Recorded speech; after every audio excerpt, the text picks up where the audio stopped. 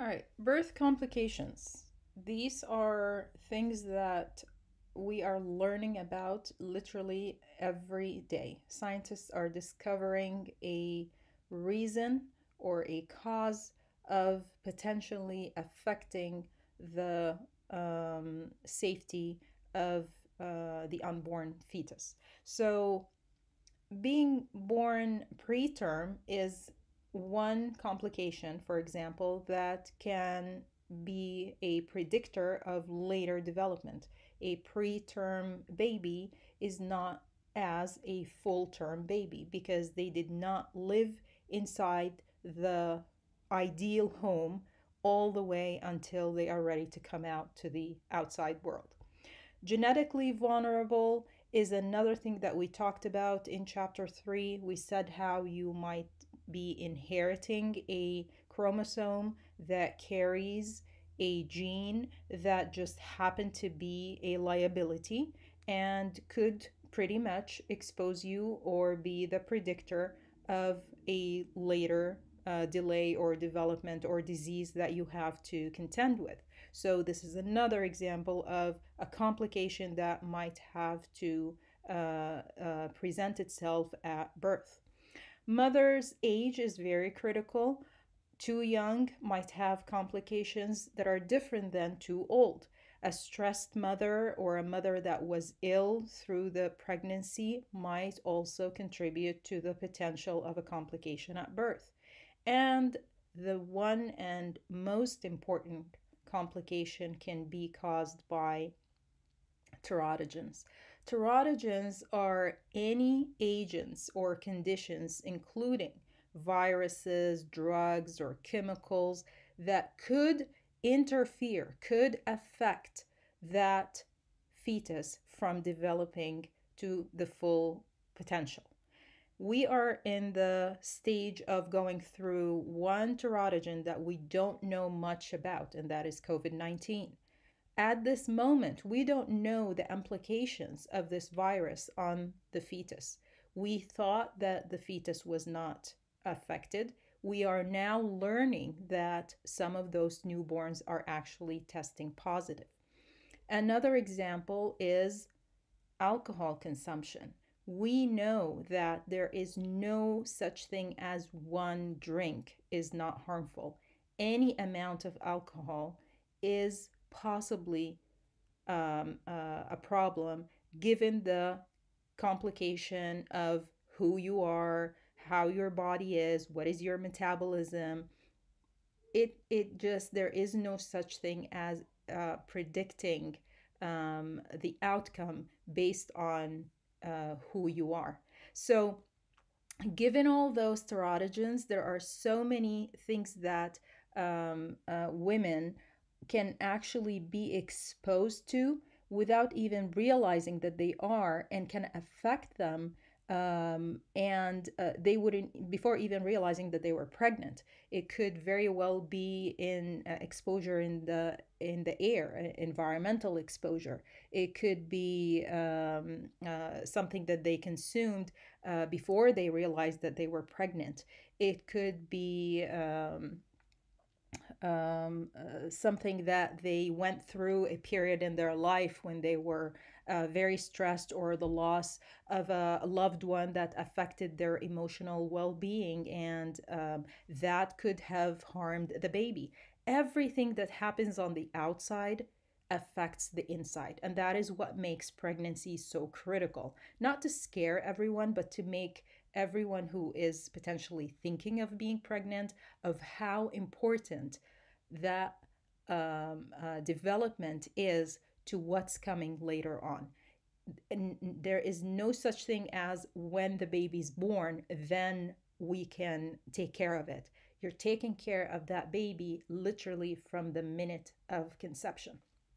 Now, the factors that influence the effects of teratogens is, of course, as we said, the critical time that it was consumed.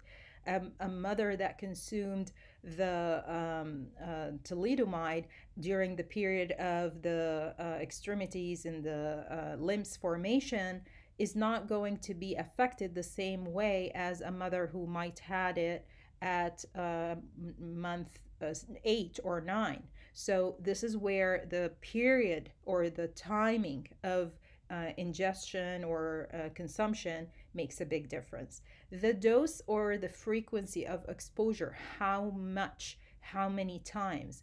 One time might not be a uh, a big deal for certain bodies, but it might be critical for another body.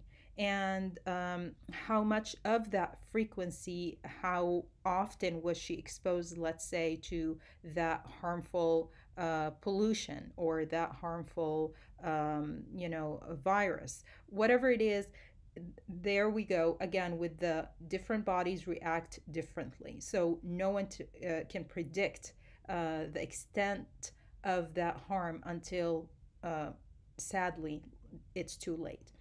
Genetic vulnerability is also uh, important because uh, some bodies can tolerate things more than others. And um, you might be born with, like we said, a genetic liability that makes it really hard for you to bounce back from um, an exposure. All right, one particular um, uh, teratogen that is worthy of uh, noting is alcohol consumption. And alcohol consumption, um, you know, unanimously, um, professional scientists and doctors and, psychi- and psychologists would say that um, really you wouldn't want to risk it. So, not a single uh, drink is worth um, uh, um, harming a fetus that could very well be uh, affected by it. So, uh, fetal alcohol spectrum disorder, or FASD, is an acronym that is replacing what it was uh, uh, previously called fetal alcohol syndrome, which is basically um, what happens to the fetus if the mother consumed alcohol. It could produce a baby that is um, harmed uh, in a, a, neurological way, the neuroconnectivity in, in uh, cognitive development is affected, and it could very well be also the behavioral uh, um, uh, um, uh, way uh, that the child um, does is affected because of that consumption. typical um,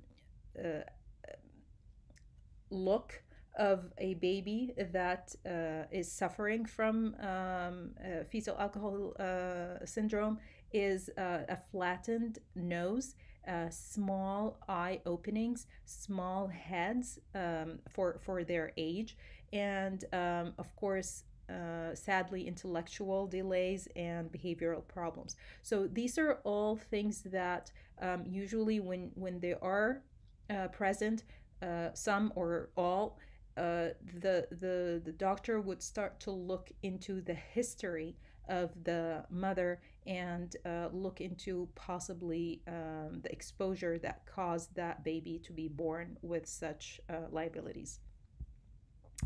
All right, so now that we have the baby, uh, it's very important to look at um, who is taking care of them uh, of that baby. So we're going to look at the mother and we're going to say that um, it is very important to pay attention to the well being of the mother physically and emotionally.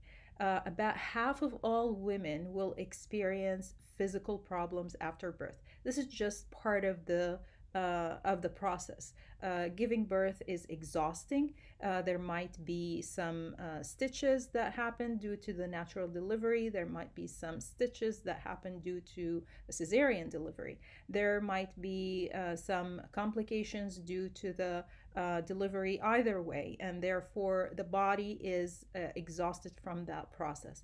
But what's more critical is emotionally. Between 8 and 15% of women experience what is called postpartum depression. Postpartum depression is an extremely important um, uh, concept that people need to pay attention to due to the fact that it could uh, not only harm the mother, but it could also harm the child. It's a feeling of inadequacy, it's a feeling of depression and sadness that overwhelms the uh, the mother, the new mom, and it starts to actually uh, cause uh, um, uh, some uh, lethal thoughts uh, about her ability, and sometimes it, it ends up with a, a, a, psychosis, and the mother uh, could possibly harm the baby because of that feeling of inadequacy. Um, there are many uh, causes for it. It's hormonal changes and any um, mother who goes through pregnancy in general, not just delivery, but pregnancy has a lot of hormonal changes that are happening in her body. So, baby blues are typical, but what we're talking about here is past the baby blues. It's going into now um, a state of um, uh, depression and uh, that could very well transfer into a mental health problem where the mother can be really uh, at risk uh, her on for her life or her baby's life. Uh, it could also be triggered by environmental uh, uh, factors. It could be a financial stress because of that baby uh, and lack of work or lack of assets. It could be marital problems if the parent, the other um, partner, was not able to um, uh, acknowledge the, the existence of the baby or take uh, uh, charge.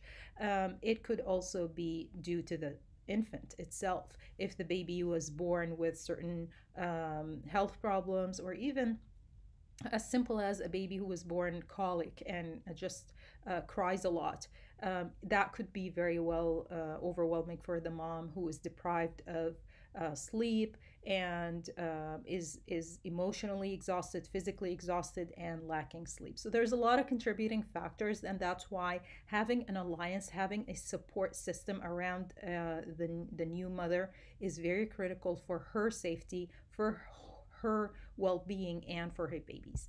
Um, what about the fathers? Well, fathers may experience pregnancy and birth uh, both psychologically and biologically. And it has been documented. The case of couvade is actually uh, sympathetic pregnancy where the parent, uh, uh, the mother is pregnant and the father is starting to show symptoms of uh, pregnancy such as uh, weight gain or um, uh, acid reflux or uh, some uh, sleeplessness. So, those are some of those symptoms that um, males might experience.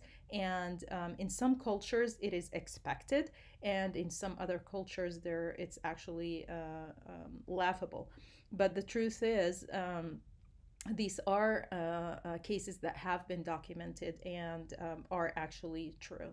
Uh, prenatal alliance is what I talked about, is forming that support network around the mother to help her get through um, uh, uh, the first uh, few days and, and months. And um, uh, one um, very interesting concept, kangaroo care, can actually be beneficial for uh, not only the uh, the mother or the father, but also for um, the infant. So it's a form of newborn care uh, where the baby is um, laid naked on the chest of the parent, naked as well. So, what is happening is a skin to skin interaction, and that has been shown to actually reduce uh, um, slow down the um, the heartbeat and regulate it and uh, comfort. And um, of course whenever we're talking about um, uh, uh, physical development we're also talking about neurological development. So we'll see later how all of these actions can actually support the connections in the brain and that attachment that's later going to be the cornerstone of healthy development